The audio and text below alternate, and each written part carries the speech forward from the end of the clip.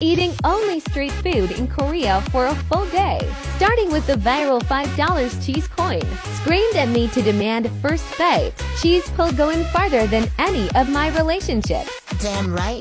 Touched my dirty ass hair 9 tenths. $15 stick mommy punched my eye. Chef got his groove on and threw me a heart. Would rather have a discount than a show. I counted 16 Wagyu dupe niblets. Tasty daylight robbery 8 tenths. Then we got a ball of artery clogging goodness. Last nudes were cooked to perfection. Even the flying chickens approved 8 tenths.